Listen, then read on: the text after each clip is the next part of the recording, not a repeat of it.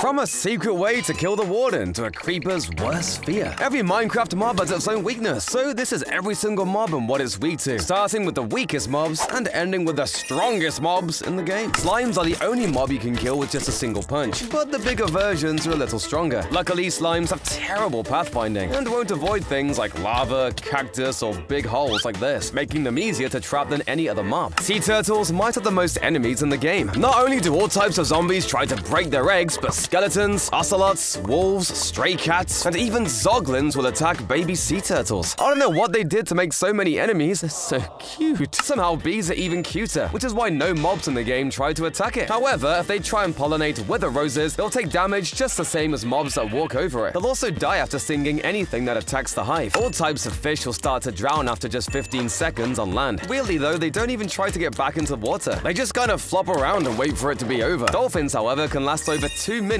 on land, and if it's raining, they can survive forever. However, dolphins do need air to survive, so if they're underwater for too long, they'll actually start to drown. At least they try to find water. Squids literally just sit there and move like that. Endermites used to have a huge weakness that nobody knows about. Before 1.15, if they stood on soul sand, they'd suffocate and die. This was eventually fixed, so now their only predator is Enderman. Snow golems aren't exactly the strongest defense your base can have. Their attacks don't even do damage, and they're made even worse by the fact that they can't even survive in warm climates like deserts or in the rain. They also only have two hearts of health. I'll stick to iron golems if I were you. Snow golems aren't the only mob that doesn't like the rain though. Pandas are actually terrified of thunderstorms, and they don't just take damage in the rain. They hide their face and whimper, as though they're actually scared. Also, did you know pandas eat cake? That's not a weakness or anything, I just thought it was cool. Ah, no! Ocelots seem more adapted to the tough jungle environment, as they've learned to avoid fall damage and to hunt chickens for food. However, they are still terrified of humans and run away faster than almost any mob in the game. It's worth if you can get an ocelot or cat to stick around though, as they're actually super good at keeping away phantoms. In fact, a phantom won't come within 16 blocks of a cat at all. But if you want to avoid phantoms altogether, just make sure you get a good night's rest. Taming ocelots removes this weakness, just the same as taming a wolf removes theirs. And this one is the strangest so far. For some reason, wolves are super scared of llamas and will run away the seconds they get anywhere near them. I wonder why they hate them so much. Tamed wolves, however, are super chill with llamas until their human decides otherwise. But this is the same with every other mob in the game, except for creepers. So I guess this makes them weak to creepers? The only other thing dogs have to worry about is me!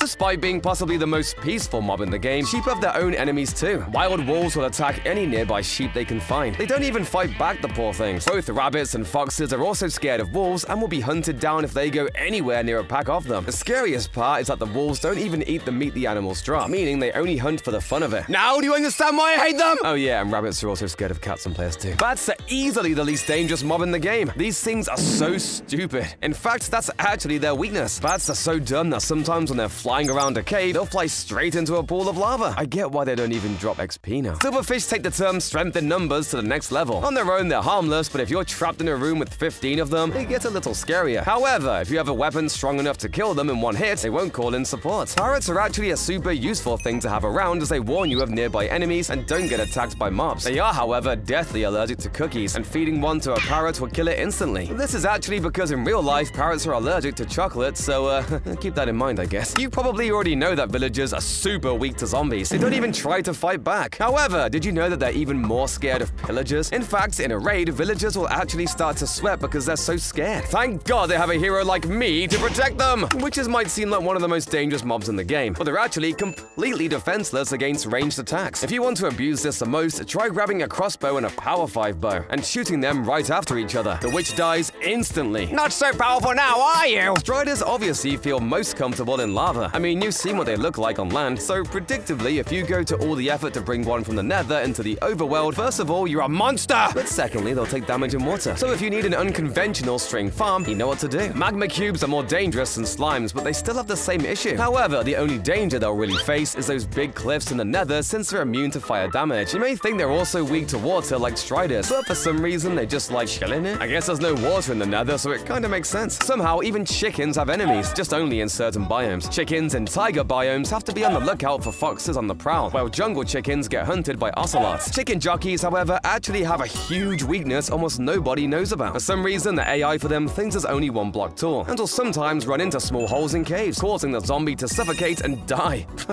Idiot. Oh crap! Shulkers are annoyingly hard to kill with their armor and ability to teleport. But we can actually use this against them. If you place water where a shulker is sitting, it'll teleport away immediately, leaving you free to loot up the end city in peace. Everybody knows that spiders are weak to Bane of Arthropods, but I guarantee you've used it so little you didn't know that hitting a spider with it doesn't just deal extra damage, but also gives their slowness 4, rendering them almost totally harmless. And by the way, Bane of Arthropods 5 is so powerful it can one-hit a spider on a wooden sword. Why does nobody use this? Cave spiders are of course a little more dangerous, but if you bring some milk with you to the mineshaft, these things are basically useless. Still scary though. Creepers are even scarier though. I've played this game for over 10 years now, and I still get freaked out whenever one jumps me in a ravine, but they do seem considerably less scary when you see them run away like babies from cats and ocelots. And it's the same for piglins too. These things are terrifying when they're attacking you in big groups, but if you chuck down any blue light source like a soul torch or campfire, they just kind of flop around and wait for it to be over. They're also scared of zoglins and zombified piglins, which I think is fair. If I saw a zombified version of myself, I don't think you'd ever see me again. Even though they're a type of fish, I, I think, guardians won't actually suffocate when they're outside of water. However, they do bounce around like crazy, which can cause them to take fall damage and die on land. If you don't know that zombies burn in the sunlight, then you might have to head back to Minecraft kindergarten. But zombies do have other weaknesses too. They're actually terrible swimmers, so if they accidentally wander into some water, they'll just sink to the bottom, suffocate, and turn into a drowned. When a husk drowns, though, it'll actually turn into a zombie first, and then into a drowned. They also don't burn in daylight, which doesn't make much sense, but hey, these things exist.